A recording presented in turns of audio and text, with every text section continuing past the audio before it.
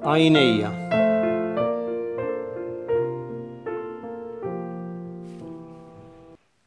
Għandi ħafna affarijiet sbieħ, idejja, widnejja, riġlejja, xari, ħalqi, Imma xi ħaġa li għandi bżonn ħafna huma għajnejja.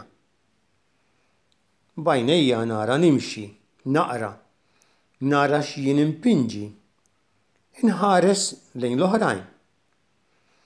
Meta nagħlaq għajnejja jew ngħattihom, nara d-dlam. Jispiċċaw il-kuluri, jispiċċaw l-affarijiet sbieħ. Kieku m'għandix għajnejja, ma kontx nara lil mamà, lil papà, lil ħuti, lil ħbieb tiegħi. Mingħajr għajnejja, ma kontx inkun naf x'inhi siġra. Ma kontx nara l-kuluri tal-għasfur, il-fjuri, il-baħar, is-sema.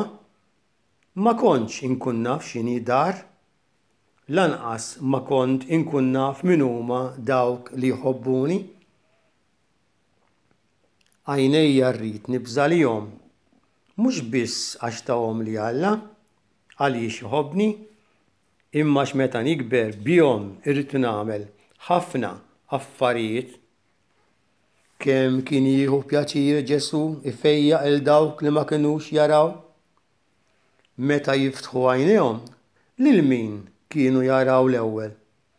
Kienu jaraw lil Ġesù, li mar ħdejhom, kellimhom, fejjaqhom, u għamilhom ferħanin. Nieħu pjaċir inħares lejn Ġesù Bambin fl-istampi u lejn Marija li qed iżżommu f'idejha Bħalma narahom fl-istampi, xi darba se narahom ta' veru, bħal meta nara lil Mamà u lil Papà u nkun nista' noqgħod magħhom.